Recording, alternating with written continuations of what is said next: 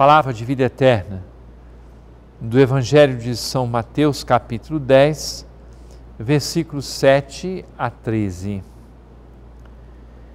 Naquele tempo, disse Jesus aos seus discípulos: Em vosso caminho anunciai, o reino dos céus está próximo. Curai os doentes, ressuscitai os mortos, purificai os leprosos, expulsai os demônios. De graça recebestes, de graça deveis dar. Não leveis ouro, nem prata, nem dinheiro nos vossos cintos, nem sacola para o caminho, nem duas túnicas, nem sandálias, nem bastão, porque o operário tem direito ao seu sustento. Em qualquer cidade ou povoado onde entrardes, informai-vos para saber quem ali seja digno. Hospedai-vos com ele até a vossa partida. Ao entrardes numa casa, saudai-a.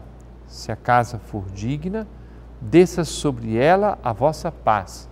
Se não for digna, volte para vós a vossa paz. Celebramos hoje com a igreja um santo que os Atos dos Apóstolos elogiam dizendo que ele era um homem bom, um homem justo, Barnabé. Foi companheiro de São Paulo. Tiveram também as suas dificuldades, parece que o temperamento dos dois era muito forte. Mas isso é bom a gente saber que precisamos superar as dificuldades na convivência com as pessoas.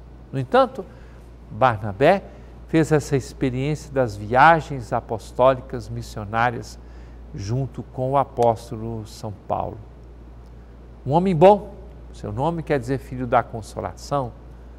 E este homem fez essa experiência que o evangelho que ouvimos agora nos mostra.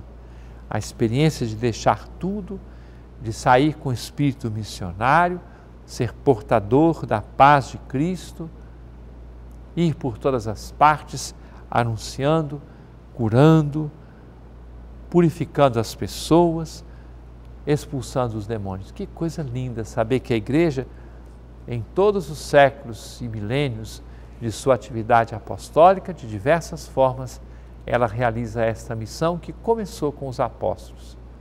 Os apóstolos eram doze, depois ficaram onze, agregou-se Matias, depois veio Barnabé, que ganhou o nome também de apóstolo, e Paulo também ganhou nome e tarefa de apóstolo. Que bonita a vida da igreja que tem a sua base no testemunho vigoroso e forte de tantas pessoas santas. É palavra de vida eterna.